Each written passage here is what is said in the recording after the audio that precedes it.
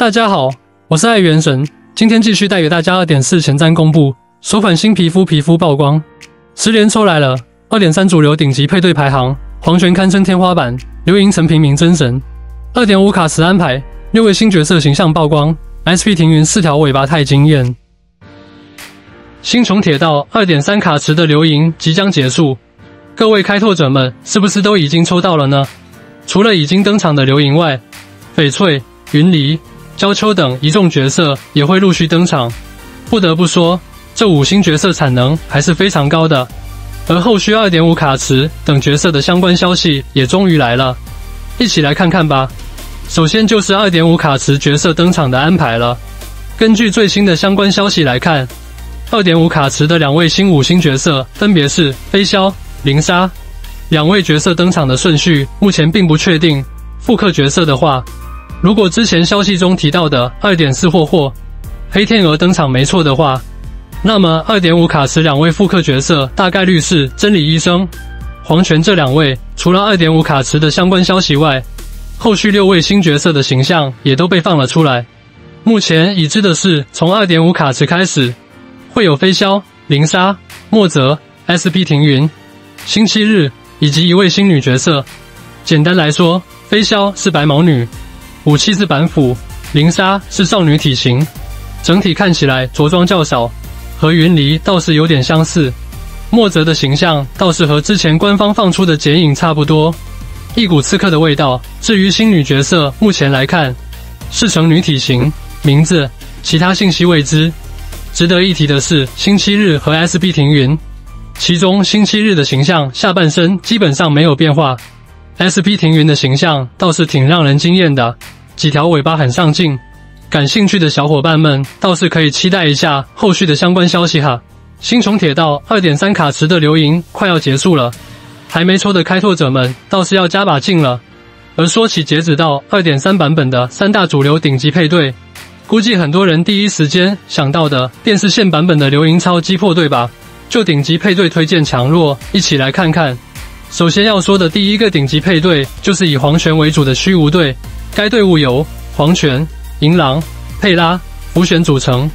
在虚无队中，黄泉最好是二加一，或者零加一以及一加零这三种，超高的爆发、超快的充能，以及超强的环境适应能力，在目前的 T 零配对中有着很高的地位，绝对是截止到二点三版本的天花板配对。然后就是第二个顶级配对卡黑道子队。该队伍由卡夫卡、黑天鹅、软梅、霍霍组成。虽然一开始的道子队比较难受，甚至在培养成本上也被二加一黄泉完爆，不过道子队的提升空间非常大。个人感觉的话，安心等待专辅和专奶即可。比如二点四即将登场的焦秋，对道子队就有非常不错的提升，妥妥的未来可期。而第三个主流顶级配对，则是流萤超击破配对了。该队伍由刘莹、阮梅、童协主、加拉赫组成。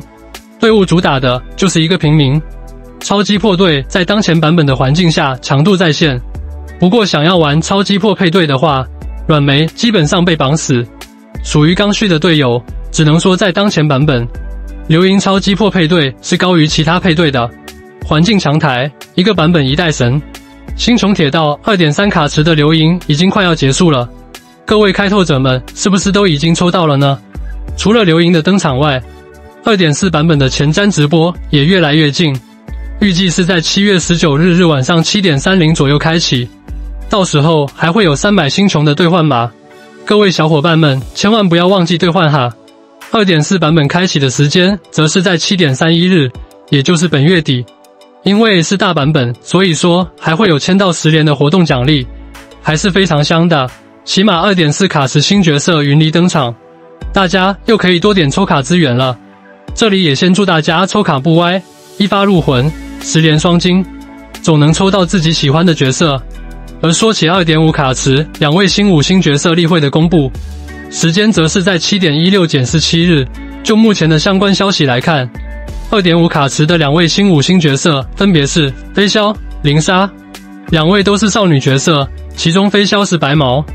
林莎的暂时还不清楚，据说林莎是流萤的售后队友，不过也就还有不到十天的时间，官方就会公布新角色的例会了。各位开拓者们是不是也非常的期待呢？值得一提的是，在二点四版本，据说还给卡夫卡加了一个默认皮肤名的站位符。